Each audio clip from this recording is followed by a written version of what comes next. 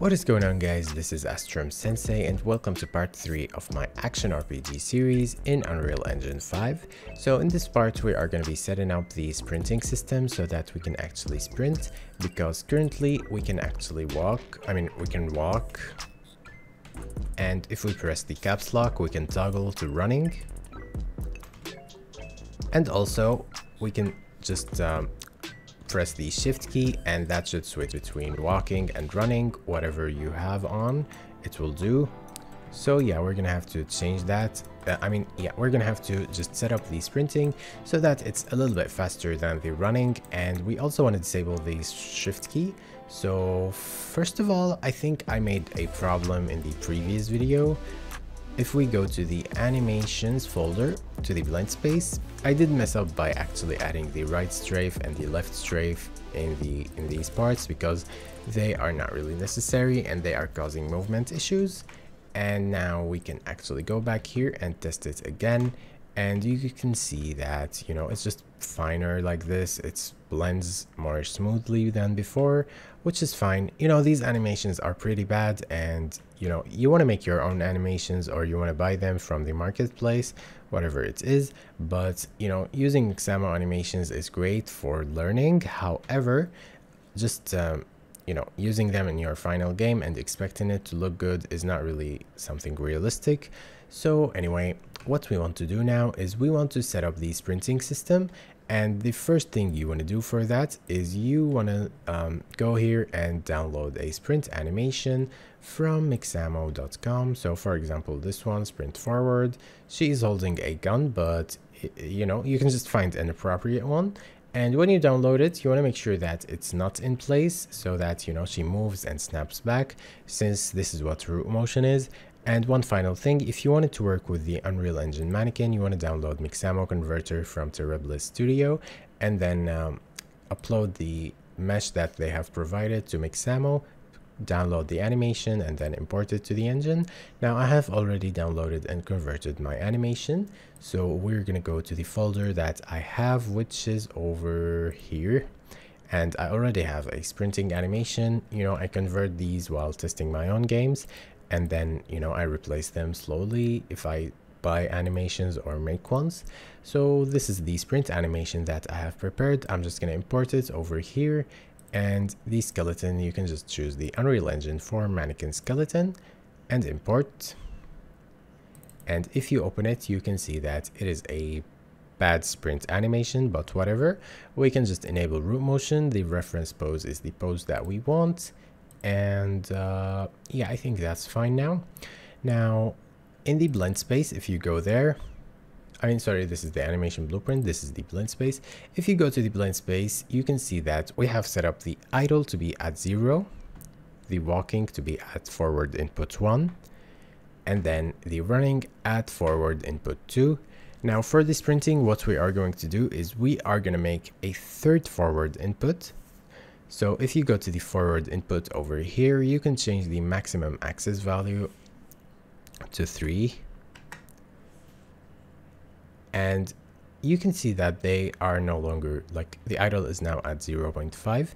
We're going to change the number of grid divisions to, we're just going to increase it one by one and see which works best. So if we change the number of grid divisions to 5 and take a look here, you can see that the idle is now at 0 the walking is at 2 you want to change that to 1 so you can see that it's fine. And then the running at 3 we want to change it to 2 and this is where the sprinting animation is going to fall. However the, we have the diagonals we're going to just move them down also one more. And sprinting is only going to be forward so we cannot sprint in all directions.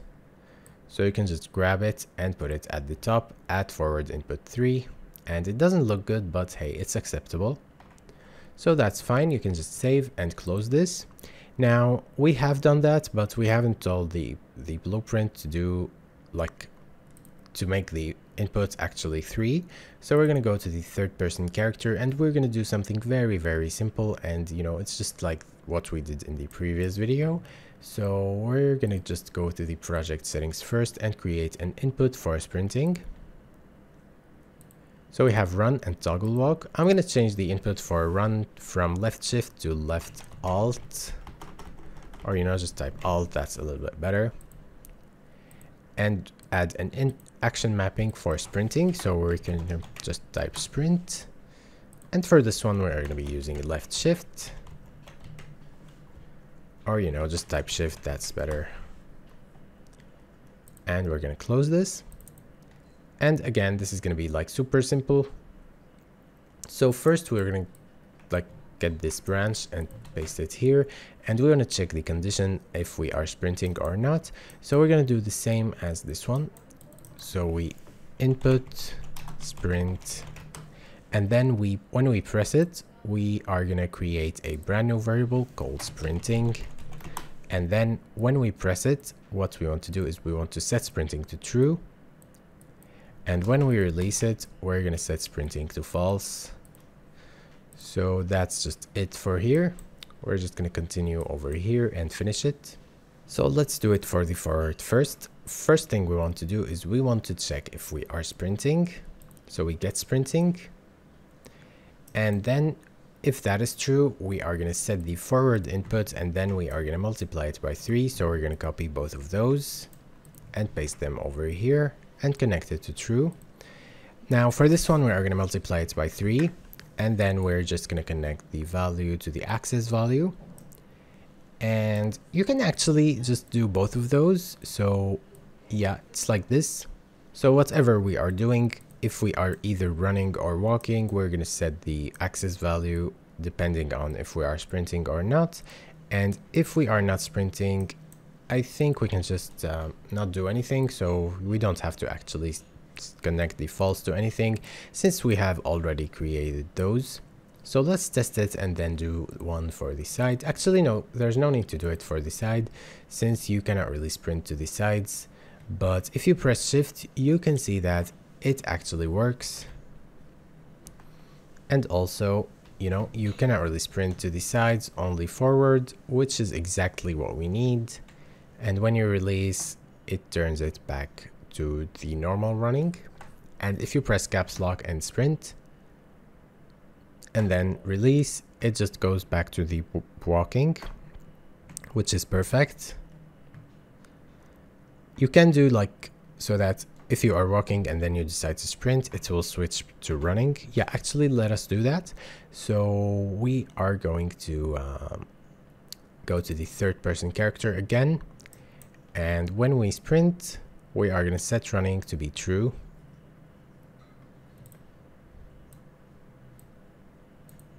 Yeah, this is fine the way it is. And also, we are just going to over here, I think we do not need to use these flip-flops um, let me just, uh, you know, for example, when we toggle walk, we're going to press and release, and we're going to set them to be whatever they are not, so not boolean, and then get the running. This is a much, much better setup. We're, we can just connect it to both of those. And also for this one, so Actually, no, I think I messed up. Yeah, I think we still need the flip-flop for this one. So we're just gonna paste it over here.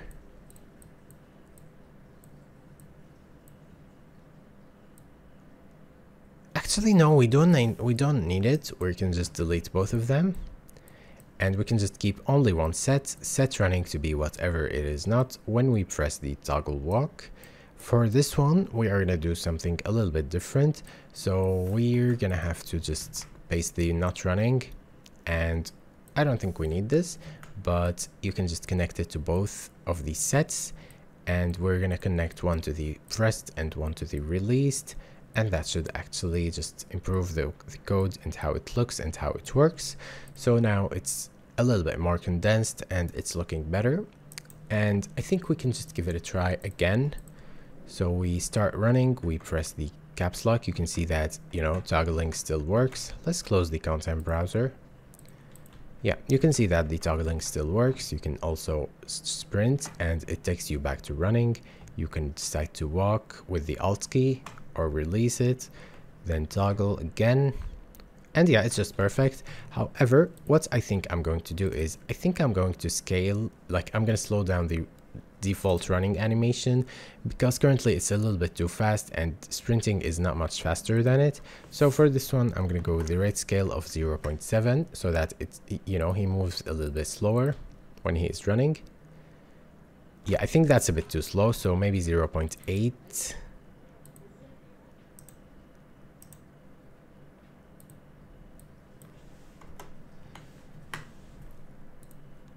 So we press play. Yeah, you can see that it's much, much better now since, you know, sprinting is now much faster. Maybe we can make the sprinting um, even faster. So we can just go here, change the rate scale to be 1.2. And for the running, I'm going to make it a little bit faster. So maybe 0.9 you know, this running animation, I'm not really satisfied with it, so maybe I should just import a different one. I already have downloaded different ones, so maybe we can just give them a try. I'm just going to dock it in the layout and look for one that looks okay. You know, I have these ones that I used in a separate folder and these ones I use for prototyping. So maybe I can just find one run forward for UE4. Let's give it a try and see what it looks like.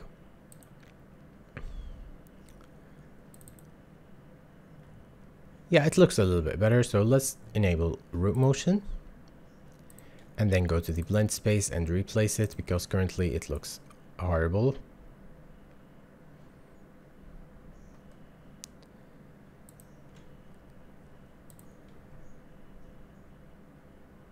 Yeah, we have changed it. Also the rate scale, I'm just going to put it back to normal. Now if we press play, it's kind of a different animation. It's not really much better, but it's still like a little bit better. So yeah, you can just see that it looks okay, really. It's not that bad. And we have sprinting and everything is perfect. So if you guys have enjoyed the video, please make sure to leave a like and subscribe if you are new to the channel because that would really really help me make more of these videos and continue the series. And if it was useful please let me know in the comments and let me know what else you want to see in this project. And super special thanks to my precious patrons. I'll see you in the next video. Take care have a great day and bye